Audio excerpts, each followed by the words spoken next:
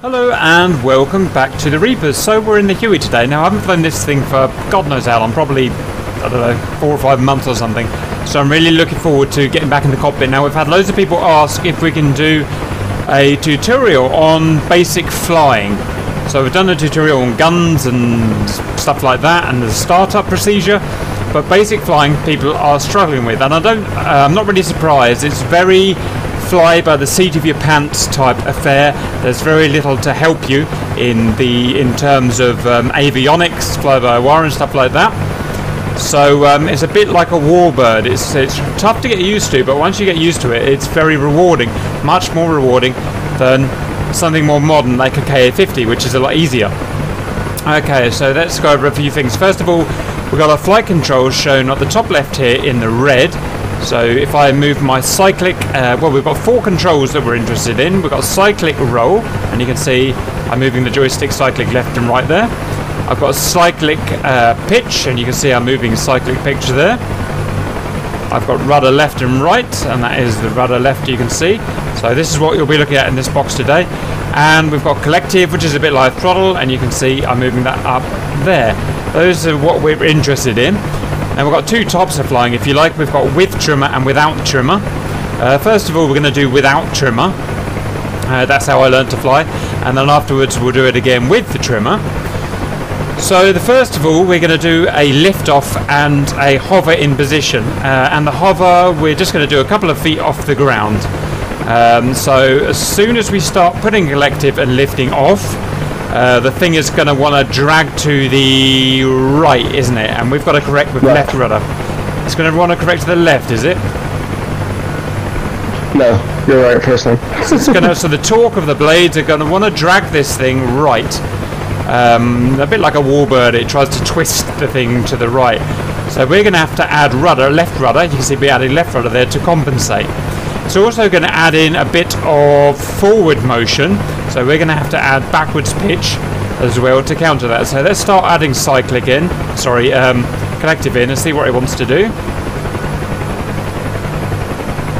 And I can feel it want to twist to the right, so I'm going to collect, I'm going to correct rudder to the left. And I can see it's when it goes forward and right, so I'm going to cyclic left. Ooh, easy now. Okay, so I'm holding that there. You can see what I'm having to do. It's better than I can explain it. I'm having to do a bit of pitch back, a bit of uh, uh, roll left, and a bit of rudder left, and I can roughly hold that in position. So what we'd normally do now is put our trimmer in, uh, which would basically save these uh, settings, these control settings, and essentially neutralize them. But for the time being, I'm going to uh, try the trimmer later. So the next thing I'm going to want to do is hold this position, but start adding a bit of, um, uh, let's, let's say, uh, right lateral. So I want to move laterally to my right. So I'm going to start adding a bit of right pitch in here. I'm holding my current rudder settings. And the rudder settings we've only got to hold whilst we're essentially moving very slowly. If we're moving forwards or backwards very high, very fast, we won't have to hold these rudder settings. So you can see technically we're still um, actually doing right uh, left pitch, but it's enough that we can send us going left. Now we're going to transition to left um, uh, left pitch and move left. Just watch those trucks behind you. So we're going left pitch now. I'm going to sidestep to the left. So again, if you can see on my uh, control uh, display on the left. The movements we're putting are absolutely tiny, like a couple of millimeters maximum. Okay. Now we're going to try going forward, so that's backwards for you, Ralu. So I'll let you get going first, very slowly, because it can easily get ugly when you go backwards. So I'm just allowing a tiny bit of um, of uh, pitch forward. I know I keep saying pitch, I mean roll before. Uh, now I mean pitch. So a tiny bit pitch forward for me. Okay. And now we're going to reverse that. I'm going to start moving backwards and you can start moving forwards. Yeah, It'll take me a while, so just uh, hold your horses. And then we've got back. So again, if you're looking at my control movements on the uh, on the red at the top, the movements are very small. Okay, I'm going to neutralize that now. nose down, and I'm going to land once I've neutralized it. And landing here, and landing. Neutralize the stick, neutralize the rudder. Okay, so that was doing it without trimming. So I had to hold the rudder in a certain position all the time, and I had to hold the control stick, uh, the pitch, and the roll um, all the time in that certain position. Um, so I wasn't making it easy on myself, and that's how I learned to fly. I advise learning to fly like that. It gets really good practice for all of your aircraft, especially formation and stuff like that. Um, when we were sidestepping left to sidestepping right, um, it was the roll that we were changing. I think I was saying pitch, but it was actually the roll. Forwards and backwards, that was the pitch. Okay, before we transi transition to fast forwards and backwards flight, the next thing we're going to do is uh, do the same as before, but with the trimmer. So the trimmer is just one button that we need to press. Let's go and have a look at it here. It's we've got pilot trimmer here, and to cancel that, we've got trimmer reset. Okay, it's just the press. It's just a button that you press once, and that's it. It will hold. So uh, let's take off again and get in a hold. And when we're in a hold, we can sit, switch to trimmer on. So rudder left, pitch back, roll slightly left. Let's get into a hole. Uh, a uh, hole. So let's get to where we feel comfortable. That is a pretty good hold there. So I'm going to go now trim up. Wait a bit. Trim it is now on. You, so you can see I'm I'm now hands off stick. I'm completely hands off. It's the trimmer that's essentially saved my settings there um, of pitch, roll, and rudder. And you can see it's slightly off because it's moving me about, so I can move. So you can use tiny corrections in the stick. But essentially, it's got me trimmed. And we're going to repeat now. We're going to go to my right. We're going to sidestep. So it's much easier now because we've got the trimmer set. And sidestepping. It's a bit like dancing. So all I'm adding is a tiny bit of um, roll control, basically. Okay, and let's reverse to left side step. Much so it's much easier with a bit of trimmer on.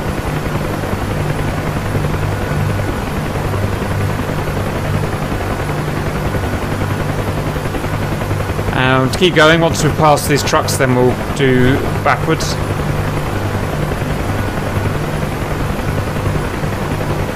Keep going, keep going, keep going. Keep going, keep going, keep going. A few more degrees. Okay, Ella, you can start going backwards now. Cap will go forwards.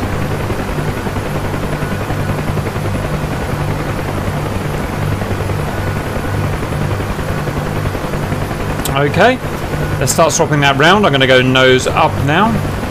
I'm going to start going backwards. Uh, now, uh, very, very cautious when going backwards, guys. Uh, going backwards is very dangerous for Huey. Easily get out of control. So if you're going to go backwards, go at just a couple of knots like this, walking pace. Don't zoom backwards fast. You'll never recover and you'll crash. As long as we go slow like this, we can keep it all under control and correct. Okay, I'm going to go nose forward and then I'm going to land when I'm stable. Uh, to land, I'm going to go reduce collective, reduce collective, and down. Collective off, and then trimmer reset. You can see it's reset my pitch, roll, and rudder. Okay, so that's basic slow movements using trimmer and not using trimmer. So before we get into fast movements, uh, I guess we better have a little look at VRS. VRS, do you know what it stands for? Because I've forgotten. Uh, no, I've forgotten as well.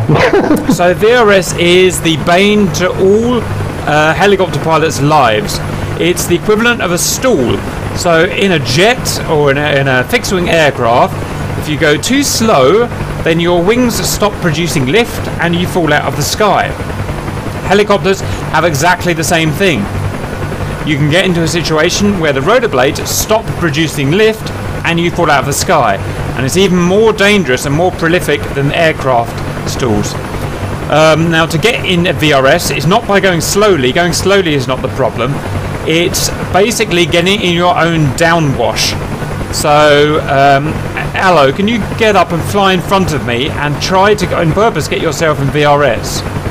We'll try. I'm going to try. I know we're kind of like we're training ourselves not to get in VRS, so it's going to be kind of hard. But I'm going to watch. It doesn't, and you can crash or you can recover. It doesn't really matter to be honest. So um, he can sit there, he can hover all day. That's fine. But it's when he gets moving. Um, so it gets some altitude.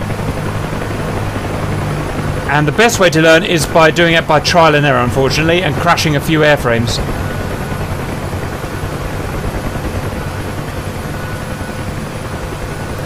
It's where you get in a position where you're producing a lot of downwash uh, and you're transitioning from moving to stationary.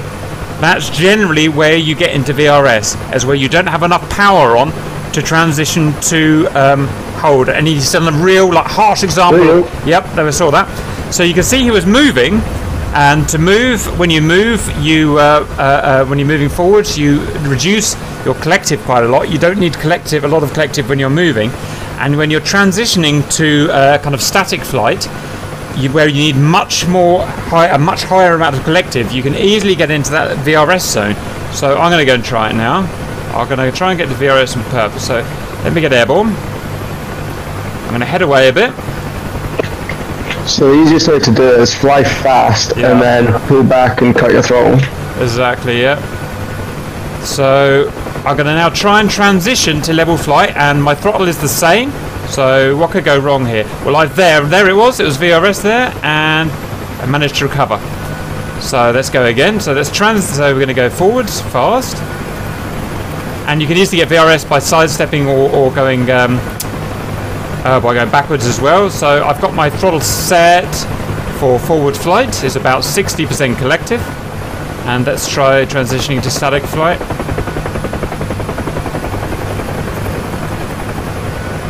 And there it is, really extreme VRS. So it was a. Um, I don't really know how to explain it with words. I'm sure there's going to be, be- people out better out there explaining it. But it's when you get into a certain transitioning from fast to slow. You see, Alo's just got in it as well. You get in stuck in your own downwash, and it it, uh, it kind of um, exacerbates itself exponentially and you end up literally falling out of the sky with no lift at all. Uh, you can prevent yourself getting from that by adding plenty of collective before VRS happens. Okay, once you're in VRS, in the full teeth of VRS, you can't get out of it. You're pretty much going to die. Uh, so let's just have a look at how to recover from it. It's all about looking at your vertical speed indicator, which is that gauge there. As long as you can keep a good eye on that, then you'll never get into VRS. So I'm going to try and get myself into VRS again. What the first thing that's going to happen is that vertical speed gauge is going to slam down. And as long as you catch it kind of before it starts getting below 1,000 feet per second, I think that's a thousands of feet per second, sorry, minute, thousands of feet per minute, um, and add plenty of collective, then um, you'll get out of it. So let's try and get ourselves in VRS. I think that's the VRS there. Yep. So I've just spotted it's above 1,000 feet. Oh, I'm not going to get it in time. Boom, dead. Okay, let's go and do that again. So again, fix your eyes to that vertical uh, uh, vertical speed indicator. So as soon, it gets, as soon as it gets to 1,000 feet per minute or below, you've got to slam that, um, that collective up, and you'll be able to control it. Right, let's get moving.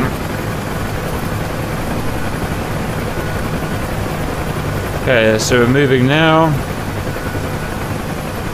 Gonna try and get ourselves in VRS now. Nose up. So it's a bit like stalling a plane, really. And that's 1,000 full power. And we just saved that one. You saw the needle on the vertical speed indicator was um, just getting towards 1,000. So I slammed up to full power, and you can see we got out of the VRS. So we can do that all day, but that's it's really good practice that because that's the biggest killer of helicopters uh, is VRS, much bigger than being shot at or anything like that. Okay. Um, uh, one mental note is when you put your throttle up or you put your collective up, don't slam it up really quickly. Like uh, most well-modeled planes, like um, any Warbird, P-51 Mustang, anything like that, if you slam your throttle up really quickly, um, it'll probably kill your engine. So don't do that. It's just a nice. If you watch the uh, control stick there, it's just a nice, assertive, aggressive up like that, but no faster. Otherwise, that'll be your engine gone. Right, Aloe, that is VRS covered. I guess it's just fast flight now. So I'm going to follow you. You start working your way into level flight. um, and we'll go into some fast flight, into some valleys and trees and stuff. Uh, try and stick away from the max speed because that means I won't be able to catch up. Uh, viewers, you can watch my box control box up there to see what I do. It's better than me trying to explain it. Any particular place you want to go? Not really, just um, anything that's going to look cool, really. Okay. Are you going to use your trimmer? Uh, just no. I'll just fly normally. Okay, I'm going to use my trimmer for this. So I've actually set my trimmer as it is now, as my controls are now. Now the first thing you'll see is I don't need to use my rudder anymore. As soon as we're moving above kind of 30 40 knots, the um, the the torque of the motor no longer really has an effect, and so we don't have to cancel it out with the rudder. So uh, so when we're flying, essentially. Uh, speed, it's almost like flying an aeroplane and it's just a joy to fly. It's only transitioning to slow speed that ever really will become a problem. Now I can see Ella's getting away from me, so what I'm going to do is collective up, nose down, retrim, trimmer retrimmed, and we'll start reeling him in. And essentially you can fly in formation just like with uh, any fixed wing aircraft.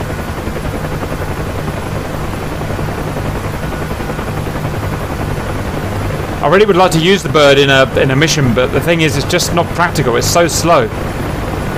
Um, getting from one place to another at 100 knots takes forever.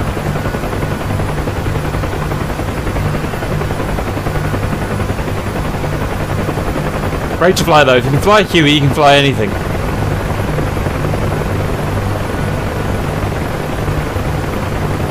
The Huey definitely tries to kill you on every input. Yep. That's why I like it. Same reason why I like the Spit. You constantly have to, even on a ferry, you constantly have to work constantly not to die. The only thing is, when you go and fly, into, fly, fly a modern plane like an Eagle or something after this, it seems just really boring. and safe.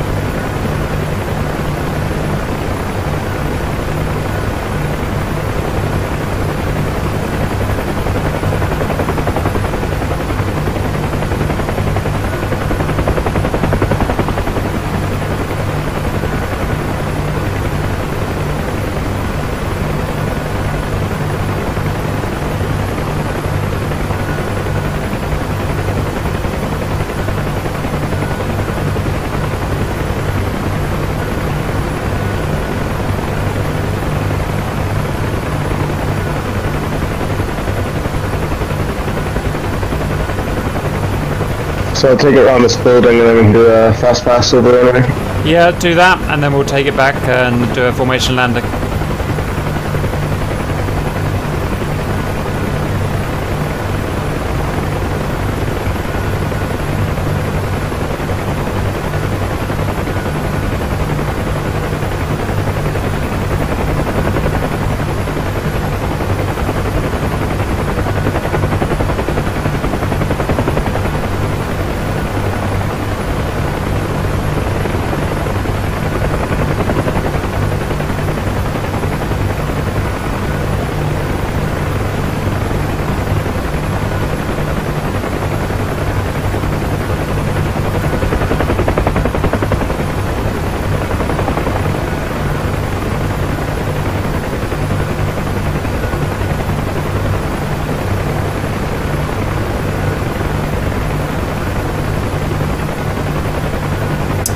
Start flying the Huey again.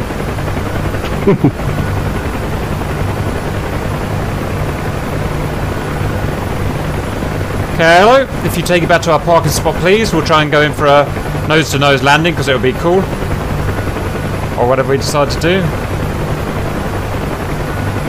So here's another thing as well. Yeah, coming in for landing. So we've got to reduce speed, and reducing speed is very dangerous in the Huey. So it's where we've got to have full concentration. Constantly looking out for VRS, constantly looking at our, at our vertical uh, speed indicator gauge, looking for the Huey, because the Huey at this point is trying to kill you in every way that she can. Watch, as soon as we get slow enough, torque's going to come back and we're going to need to add, start adding rudder. Plenty of nose up. Watch for VRS. Feel what she's doing. What's she trying to do? That's VRS coming in there. Full power. Saved. Right. we've got the rudder problem now, so let's uh, start feathering in the rudder. And let's try and equal that out. Let's try and face each other. And land. Not bad considering I've flown that in the five months or so. Right, so I've tried to show you the hard things there, that are, you know, the difficult things to do there in a Huey, the simple things, how we do it, what control input we put in, and so what. So I hope that helps. If there's anything else we can do to help, let us know. Otherwise, we will see you later.